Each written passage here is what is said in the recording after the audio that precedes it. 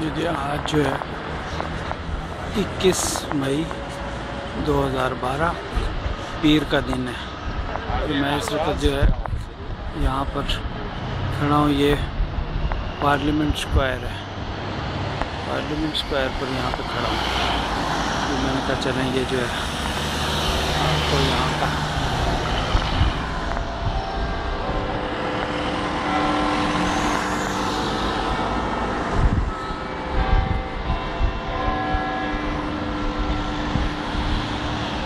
بس کے انتظار میں کھڑا ہوں میں یہاں۔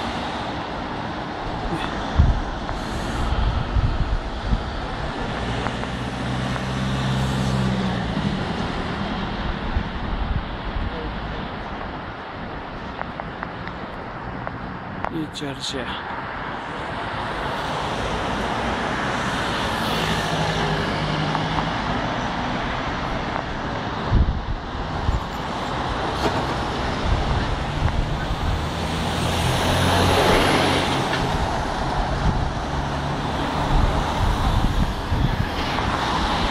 یہ بس آ گئی ہے۔